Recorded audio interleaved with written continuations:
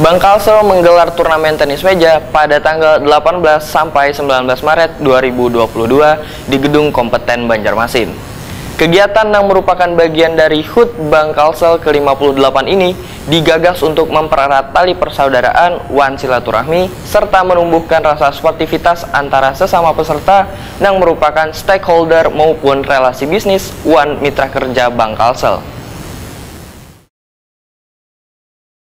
Bank Kasel menggelar turnamen tenis meja pada tanggal 18 sampai dengan 19 Maret 2022 di Gedung Kompeten Banjarmasin. Kegiatan yang merupakan bagian dari rangkaian HUT Bank Kasel ke-58 ini digagas untuk mempererat tali persaudaraan wan silaturahmi serta menumbuhkan rasa sportivitas antara sesama peserta yang merupakan stakeholder maupun relasi bisnis mitra kerja Bank Kasel.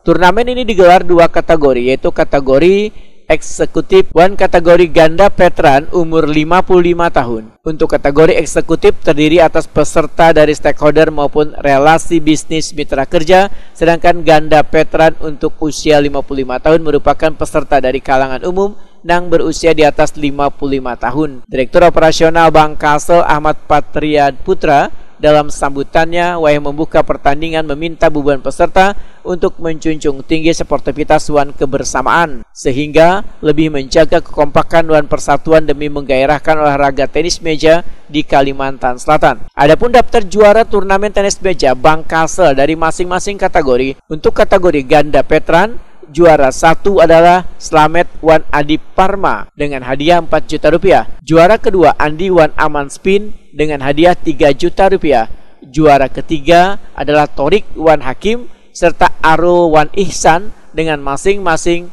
1,5 juta rupiah. Hadiah pemenang kategori ganda Petran diserahkan langsung oleh Komisaris Utama Bank Kasel, Hatmansah. Kategori eksekutif juara 1, Hatmansah Wanrian dari perwakilan Bank Kasel mendapatkan hadiah 3 juta rupiah. Juara 2 Arif Budi Wan Haris perwakilan Bank Mandiri dengan hadiah 2,5 juta rupiah, sedangkan juara 3 Jenal Abidin Wan Rifki perwakilan DRJ Pajak Wan Gusti Yudi Wan Ama perwakilan Rumah Sakit Ratu Jaleh Martapura mendapatkan masing-masing 1,5 juta rupiah. Untuk hadiah pemenang kategori ganda veteran diserahkan Ketua KUT Bank Kasel ke-58 Ijhar.